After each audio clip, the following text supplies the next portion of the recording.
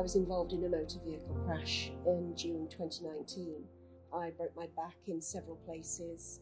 I uh, collapsed both my lungs. I suffered a severe concussion.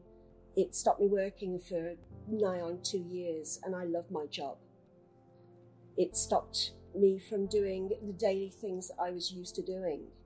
I love to bake, I love to go for long walks, I love to do a lot of things that everybody just takes for granted. And that was taken away from me for a very long time. It was a few weeks after the crash, and a person that was helping me at the time suggested I get in contact with Anna at Siskinds. I contacted them, and Anna came out to see me at my house. When I first met Anna, I thought, what a force to be reckoned with.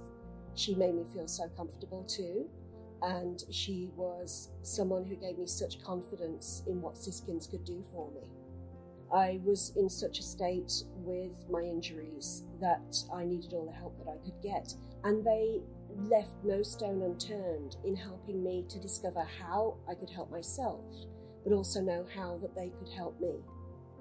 Anna is so determined and she really fought for me. She fought so hard and I felt had every confidence in what she was doing for me. I would totally recommend anybody to come to Siskinds. They help me so much. They treat everybody as an individual and you know that you're getting the best possible care that you can from them.